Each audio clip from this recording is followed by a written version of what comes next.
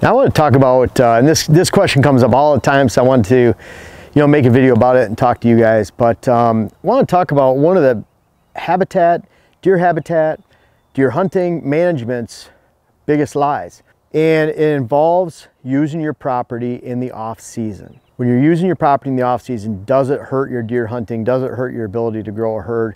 And the answer, and I can say this with 99.999% certainty, it does not. And the reason I say that, there's a lot of reasons, but during January, February, March, April, May, all the way through September, and I'm talking early September is when we should stop at the season. I have a stopping date of working on the property, moving on the property about a month before the season begins. But when you think about it, eh, what I teach, what I preach, and what I try to practice myself is that the bulk of the deer herd, especially the quality component of your deer herd, is not there during the off season when you have small properties, and I mean anything from 500 acres to 800 acres or less, and again, I'm not saying that an 800 acre property is not a small property, but what I am saying is you do not encompass the daily lives of the deer herd for 365-7. You can't, even on 800 acres. You really need about 1,000, 1,200, 1,500 acres. So when you hear people talking about, well, I manage a 3,000 acre parcel, or a 15, I own a 1,500 acre parcel, or a 1,200 acre parcel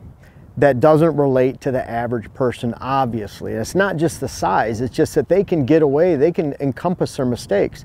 So you can manage a 3,000 acre parcel very poorly and still have good success because the size of the parcel encompasses your mistakes, especially your hunting mistakes, your habitat management decisions, and the mistakes.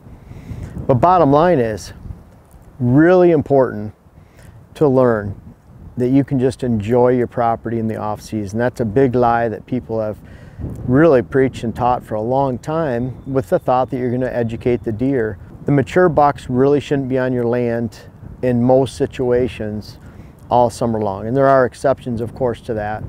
But the majority of the time, those mature bucks should be coming on your land during late September, October, November, December, and especially how they relate to the movements that you actually hunt and you're learning to manage your hunting pressure for because that's when your property is peaking in both food and cover cover options. Your browse is at its best at that time in the woods.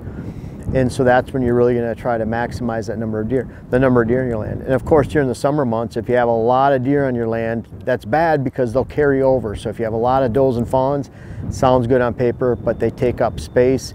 And if you're wondering about that, just watch. We have a video that'll be coming out, if it's not out already, but it's talking about buck to doe ratios and it's using examples of how someone sees lots of deer in the form of does, not a lot of bucks. They have a huge amount of food, where someone else is seeing hardly any deer, but they're all bucks.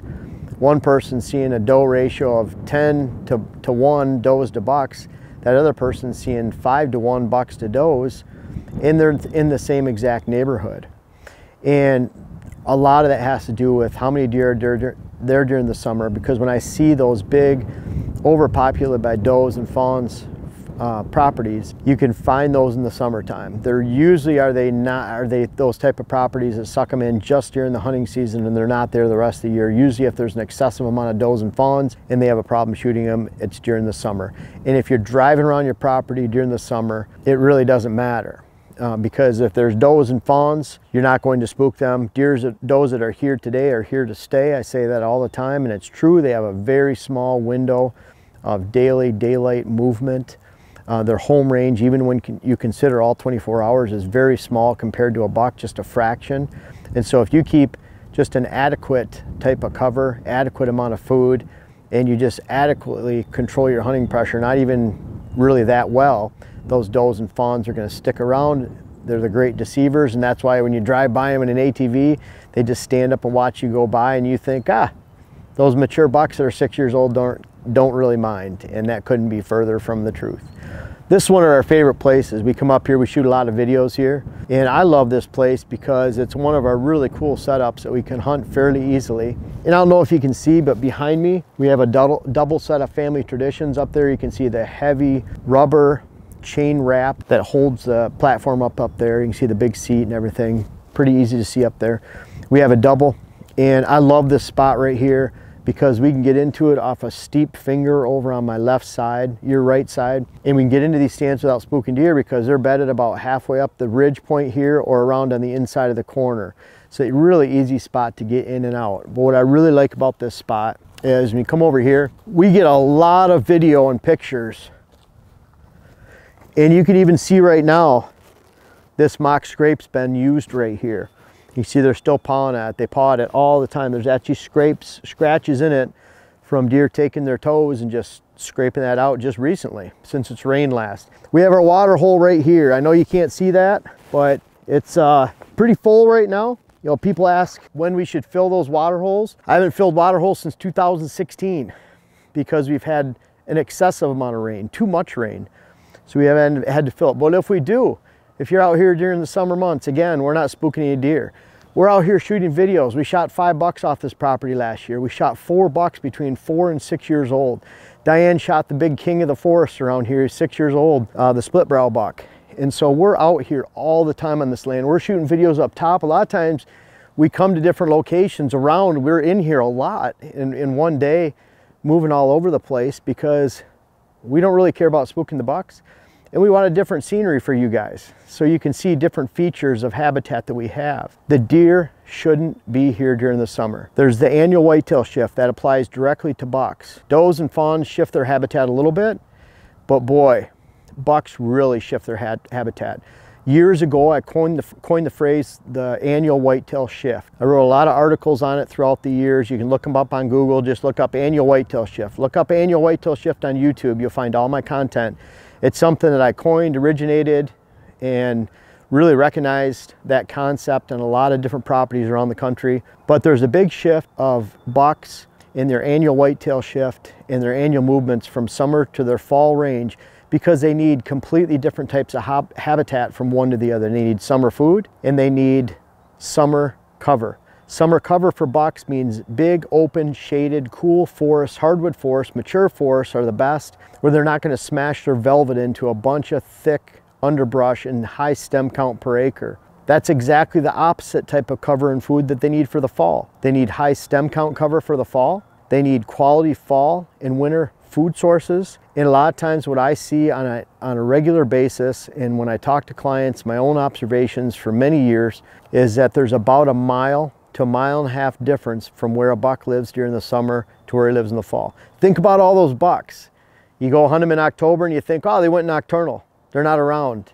And then you see them in the rut and you think, ah, where'd those bucks come from? He was just nocturnal all that time because of the October lull or whatever. No, it's because he was living a mile away or more and he shifted. And that's why if you have a great parcel, even a good whitetail parcel, the majority of the time, unless you're really swallowed up by ag land with a lot of different beans, alfalfa during the summertime, those bucks should not be where they're at during the summer, during the fall, and vice versa. And that's why it really doesn't matter when, if you're on your land during the off season in any way, and if you were spooking them in January or February and it's at the tail end of the season, those deer are gonna just long forget about that by the time it gets to the season.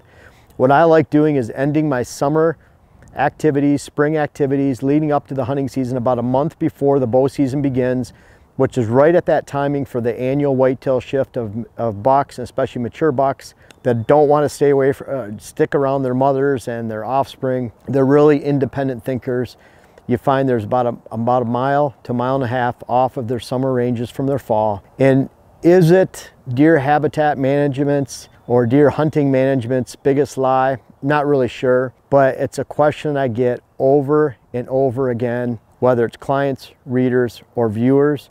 You don't have to stay off your land. And if I thought that was the case, would I be out here talking right now in early May moving around with the pickup truck, let alone in August when we're shooting videos out here on this land.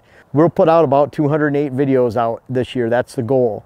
And you can imagine the whitetail work we do on this land at the same time. So if we're shooting 30 weeks, we're out here consistently. We're shooting a lot more videos on the whiteboard, but we're not doing that to stay off the land during the off season because it really doesn't matter. Could be habitat, hunting management's biggest lie, who knows.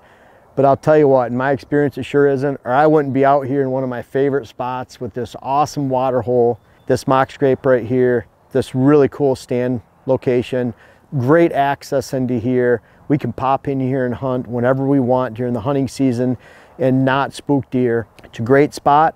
I certainly wouldn't be out here if I thought I was gonna spook deer. Enjoy your land. Enjoy your land with your family, your friends. Think of ways that you can enjoy it off in the off season. Diane and I are buying some new land and a home out in Minnesota, and I can't wait. And um, we've been on it the last couple days, turkey hunting, driving around, checking trail cam cards. Again, I just want to get to know the land. But the cool thing is about all that, I know I can do so during this time, during the off season, get to know the land, and I'm not going to spook the deer herd or hinder my efforts in any way to be the neighborhood influencer when it comes to influencing not only a quality herd, but a great hunt at the same time.